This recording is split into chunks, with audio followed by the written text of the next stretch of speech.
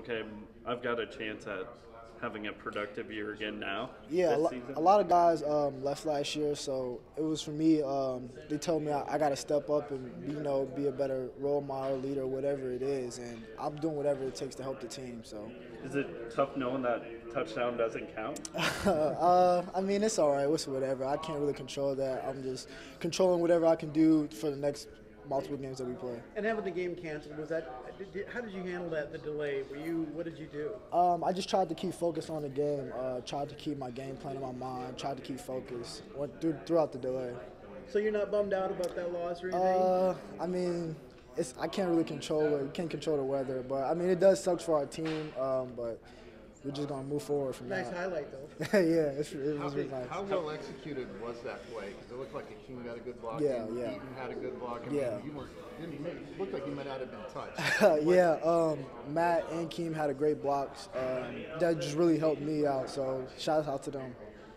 Go through the whole process in the off-season. Coach talked a little bit about it was kind of diet and strength and conditioning coming together. Right. How did that uh, maybe change for you versus the first couple of years you were? Um, when I first got here, um, it was morely about gaining weight and putting on some weight because I think I was like 160 some pounds when I came in, and um, just getting my body like controlled to the college environment and the college playing. And I think two years I was like going through that experiment of like how do I feel about playing. And once I came, I like I put my mindset after my sophomore year to like get my body right and get comfortable playing on the field, and that's what I did.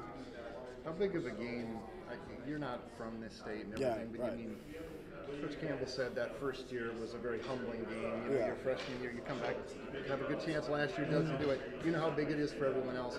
Has this been, even though every game's weighted equally, a game that kind of teaches you a lot in your first two seasons here? Uh, yeah. Um, when I first got here, I didn't really know like the rivalry, the experience, or whatever it is um, that the game. And then once I first played in two games, you know, it's, it's really big in the state of Iowa. And um, I'm thankful to play in it. It's one of the biggest college rivalries today, and um, it's just a great game to play in. Uh, here or in Kinnick, it's, it's a good environment. How much did you guys grow from that first loss there? Because I heard that Coach Campbell got Yeah. on you guys pretty good. after that one. Um, we just grow, you know, try to be a better football team, you know, discipline, things like that, and um, it showed in the second game, and then um, we're just gonna keep competing every day. You've played in a lot of stadiums. Which is the most rabid, maybe, stadium environment you've ever played Like hostile, wise? Yeah, Um, hostile, maybe intimidating. You Ki- look up in the yeah, crowd and say, oh my Kinnick, gosh. Kinnick's definitely definitely top five. I would say uh, West Virginia's a pretty tough place to play too.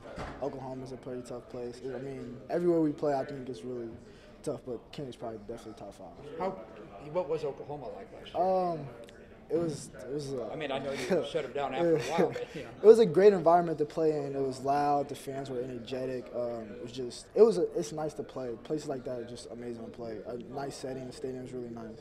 What was it like when you first stepped into in Iowa City? Oh wow!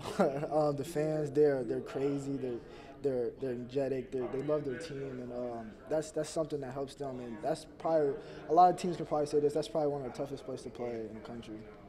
What How much, uh, how much has Coach Campbell drawn on his previous experience at Toledo with having a game canceled to help you guys rebound from that and get ready for this? week? Um, he just told us his experience with it and uh, how it can help us, and we just took that mindset that um, just let's go back to work the next day and just keep getting better.